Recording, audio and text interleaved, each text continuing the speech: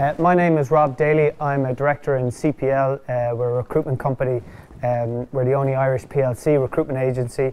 Really, what we're going to kind of talk to is really about your CV, where are all the jobs, and how how to go about getting uh, interviews, getting jobs, and where to find everything. Okay, so really the main thing is uh, your CV. The CV today uh, really has an impact of anywhere from five to 10 seconds when an employer sees it.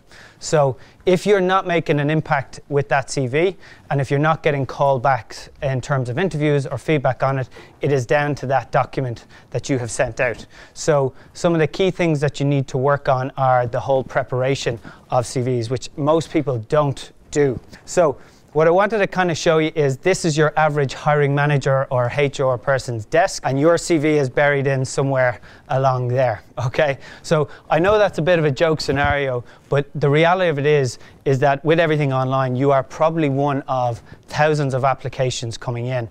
And really, what you've got to do is figure out what is different about uh, your CV, your experience, and how you engage. The previous speaker that I was listening to, had all about describing the projects and the passion of what you do. You've got to translate that onto the CV and make it valid, valid and relevant for an employer. So most times, I think what our parents would say is send out as many CVs as you can, get and blast 400 companies, and you'll hear something back.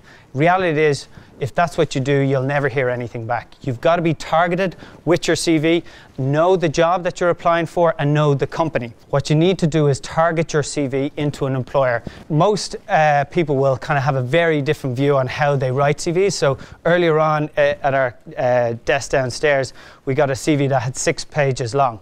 Okay, that's probably not going to be read by most people.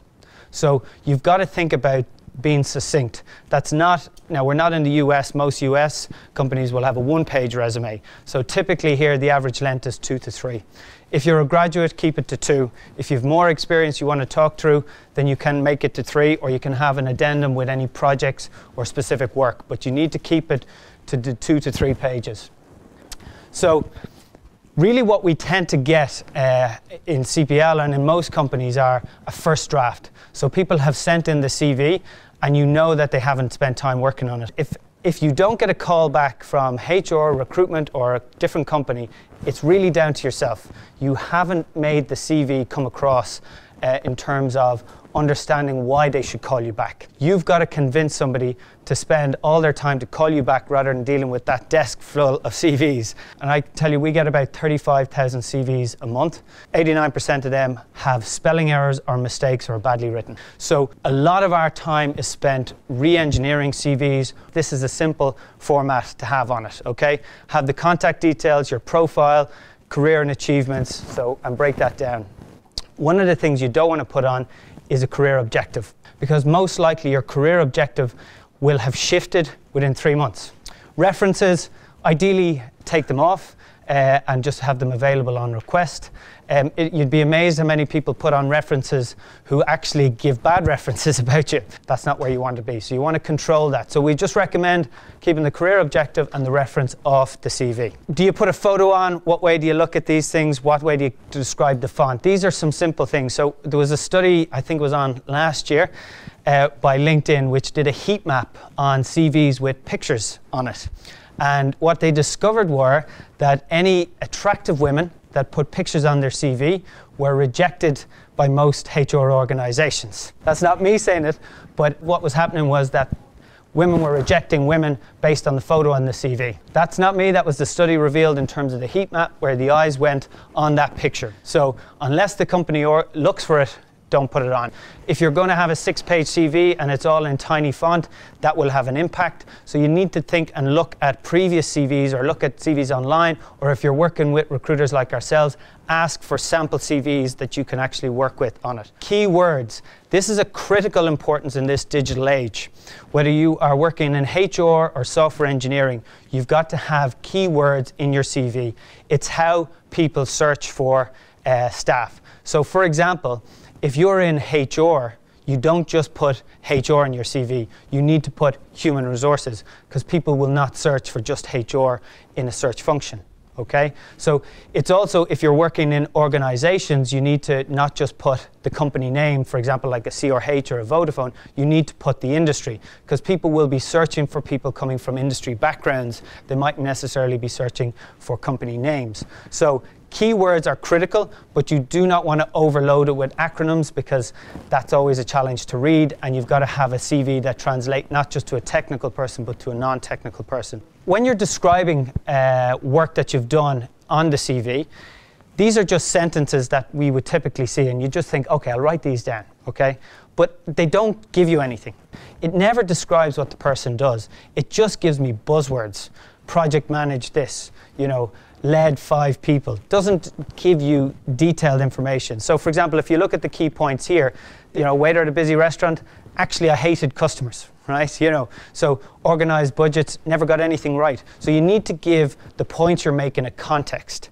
If you manage budgets, you need to explain the size and scale of those budgets, not just say, I manage budgets. I had to have an outcome out of that, okay? So these are all just key things to be aware of. One of the things that you've also got to be aware of is loads of mistakes in spelling. I know it seems uh, juvenile and I'm talking to all adults, however, most CVs will have some form of spelling mistake on it that we receive in. If you've worked in a job or you've worked on a project, so what? So when you're writing your CV, ask yourself that question. Why am I putting down project manage this? What, what does that mean? Okay? Or led five people, sold this, worked on this project. Whatever description you're putting down, you've got to ask yourself, so what? What impact is this?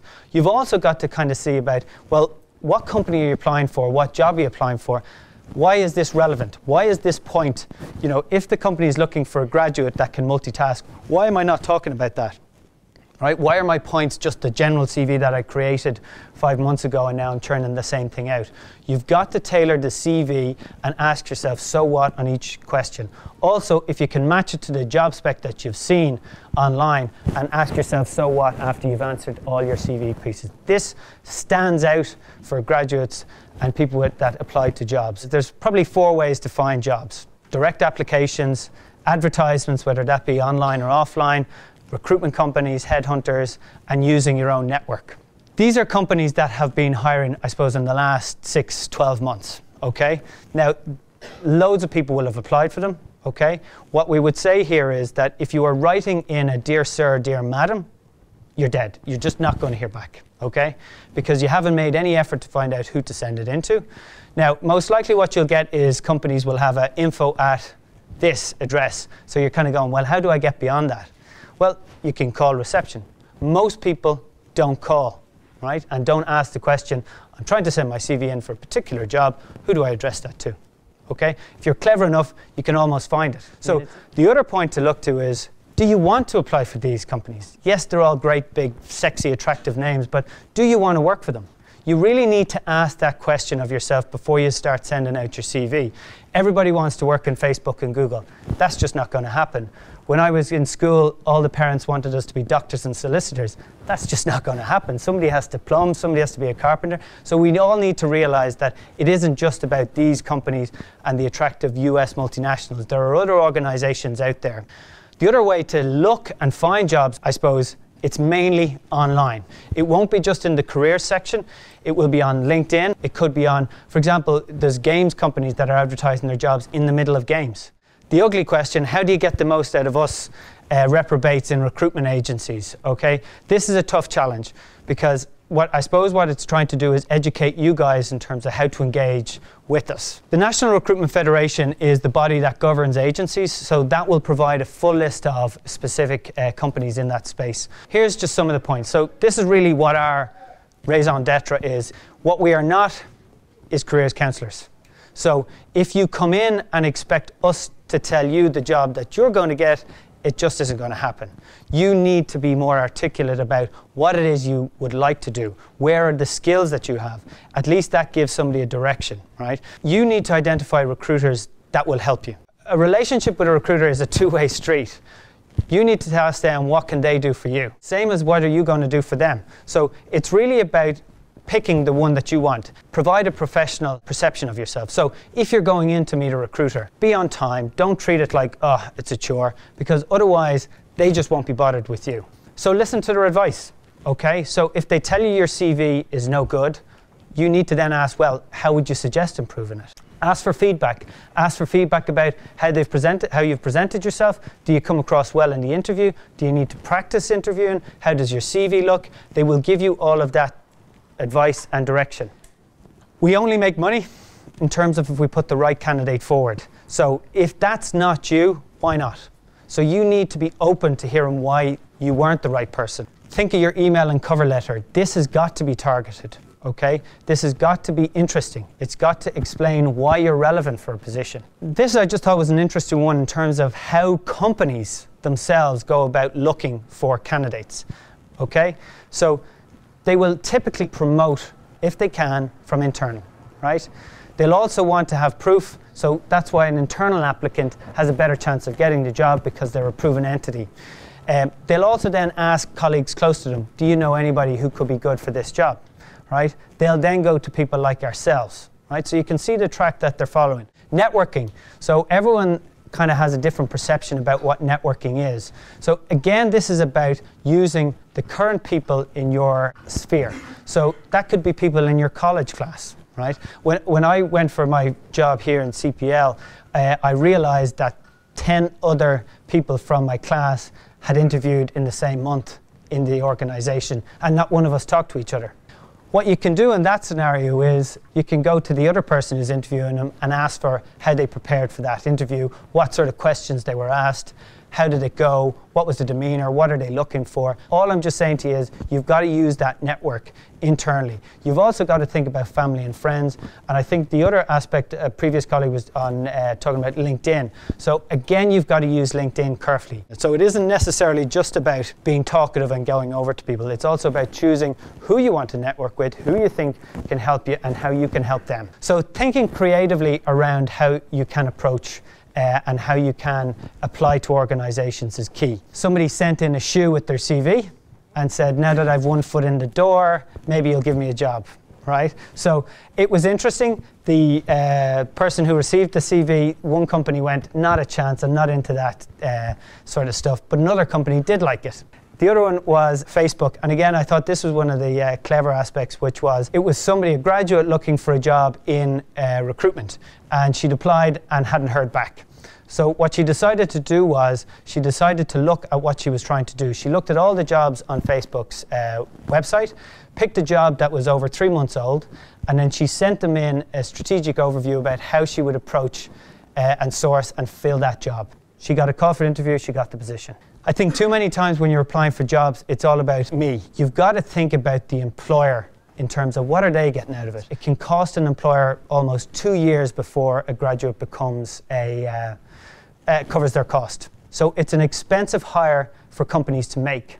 So you've got to think, why should they put their hat or hire you to be that investment? It's two years of their time, energy, commitment that it'll take. So the other actions that I wanted to kind of talk through quickly again are prepare a world-class CV. So that does not mean um, you know, again, 15 pages. It means a targeted CV. What I think you need to be prepared for with this, guys, is you're not going to have one CV fit all. Okay? You're going to have targeted CVs that are organized for each company that you want to apply for. You need to tailor it for that particular role. If you give them a reason to call you back, they will call you back. If you send in a generic CV that you've sent out everywhere, it shows you don't care. And if you don't care, they won't care. Understand how to interview. What I think you should be able to do is get somebody with a camera or use your phone and get them to video you interviewing. Okay? Highly embarrassing, but it will give you a sense of um, how you've performed and how you've achieved what you've said. Did you look boring in the interview? Did you come across well? Have you rambled? What are the key things you've said? Because it is hard to remember after the interview what you've been saying. Okay? The preparation is key not enough people prepare for interviews. Uh, as we were saying, is most companies will ask the same question over and over again. So HR departments will ask you to give you a brief run through their CV. We'll talk you through what's my strengths and weaknesses. Awful question, as I've said before, but you need to know it's coming up. Follow up, show determination. It's understanding that most people will not come back to you in the timely fashion that you think uh, w- would work for you. Most organizations will at least take two weeks, three weeks, even a month to come back. improve your skills and your research, what this means is that, again, most people going in for a job only know the two lines of the company's website. They don't know enough of detail about what the company does. Because if they ask you what's happening in the news lately about us and you don't know, it just says, you know what, all the rest is rubbish. You don't care enough to research it on that, okay? This requires substantial amount of work and effort, right? I have often suggested that sometimes a CV can take up to two days to get right, okay? And then you could have four versions of your CV. I suppose the key thing is, why would somebody hire you? If you can answer that question when you're applying for a job, why would you hire yourself for this position? That's the key, and then you've got to articulate that for them.